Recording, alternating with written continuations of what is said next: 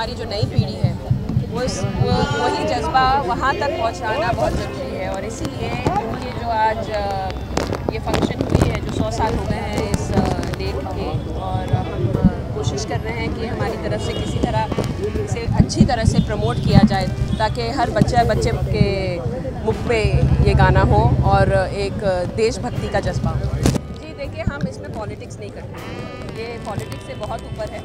और जब हम एक ऐसे महान हस्ती के बारे में बात करते हैं इसमें अच्छा नहीं लगता कि इसमें हम कुछ पॉलिटिक्स का नज़रिए नज़रिए से देखें। और हमारा हमेशा ये लक्ष्य रहा है, जैसे मैंने कहा, कि ऐसे लोगों को हमें एक दर्जा देना चाहिए इस देश में, क्योंकि उनकी कंट्रीब्यूशन बहुत बड़ी रही है। और हम, हमारी कोशिश यही हमेशा रहेगी। अगर किसी जॉब को हमको, हमारे नामकरण देना है, इसका प्रोसेस होता है।